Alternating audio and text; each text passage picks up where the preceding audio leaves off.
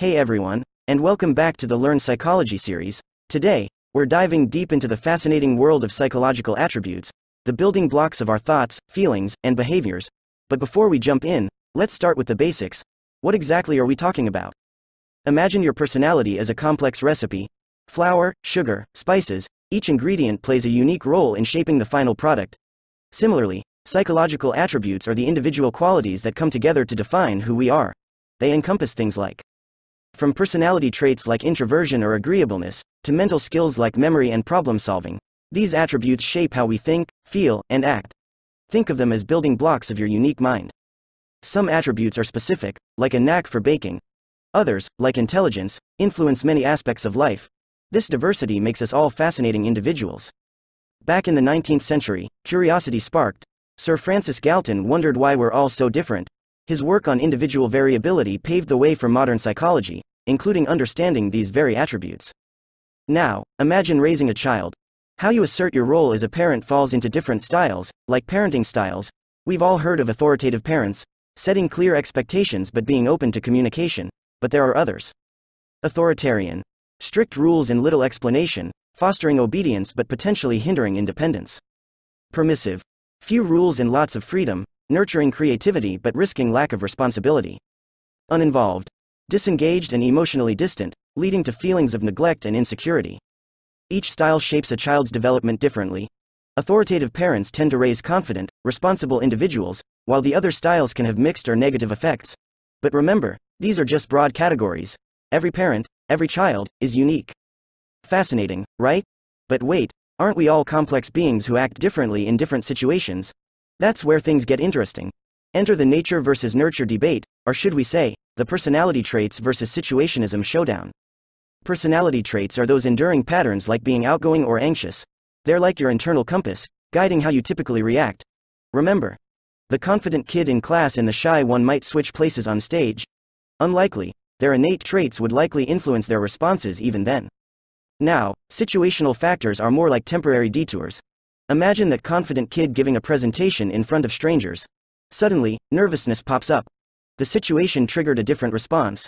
So, while traits offer a general guide, specific situations can influence behavior too. The truth is, it's not a battle. Most psychologists see it as a dance. Your personality traits set the dance moves, but the music playing, the situation, influences how you express them. Maybe the confident kid stumbles slightly during the presentation, but their core trait still shines through. Now let's zoom in on the different areas where these fascinating attributes play out. First up, the master brain. Intelligence. It's not just about book smarts, but about understanding the world, thinking critically, and solving problems like a champ. Whether you're dominating puzzles or outsmarting life's curveballs, intelligence shines through. Next, let's talk potential. Enter aptitude, your hidden talent waiting to be discovered. Maybe you have a natural knack for languages, music, or even sports. These underlying abilities lay the foundation for acquiring skills and becoming a master in your chosen domain. But what drives you to explore those talents? That's where interests step in, they're like your internal compass, guiding you towards activities that spark your curiosity and joy. Whether it's building robots or creating art, your interests fuel your passion and motivation. Now, what makes you, you?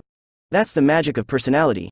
From being outgoing and adventurous to introspective and thoughtful, these enduring characteristics color your unique approach to life. They shape how you interact, make decisions, and experience the world. Finally, let's not forget the values that guide our choices. These powerful beliefs about what's right and wrong act as your internal GPS, influencing your actions and shaping your relationships. From honesty and kindness to creativity and courage, your values define your moral compass. Remember, these domains don't work in isolation. They're like an intricate web, constantly influencing and interacting with each other.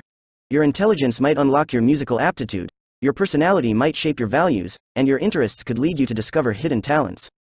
We've explored the building blocks of who we are, those fascinating psychological attributes. But how do we measure them? Enter the world of psychological assessment. Imagine you're trying to understand a complex machine. You wouldn't rely on just a glance, right? Similarly, psychologists use various tools to paint a complete picture of an individual's mind. Let's peek into the toolbox. Psychological tests. These objective, standardized measures assess things like intelligence, personality, or emotional states. Think IQ tests or personality inventories. Interviews. One on one conversations allow for in depth exploration of thoughts, feelings, and experiences. They're like having a personalized Q&A with your mind. Case studies. Imagine a deep dive into your life story. Case studies combine interviews, observations, and other data to create a rich understanding of your unique journey. Observations. Ever wonder how you act without realizing it? Observational methods capture your natural behavior in different settings, offering valuable insights. Self reports. Who knows you better than you? Self report measures allow you to share your own perspective on your thoughts, feelings, and behaviors. Remember, no single tool tells the whole story. Psychologists use a combination of these methods to create a comprehensive assessment. It's like piecing together a puzzle to fully understand the unique picture of you. So, are you curious to learn more about specific assessment methods? Do you have questions about how your own attributes might be assessed? Share your thoughts and spark the conversation in the comments. Remember, understanding psychological assessment is key to unlocking a deeper understanding of ourselves and others. Stay tuned for the next episode where we'll dive into specific methods and explore their fascinating applications.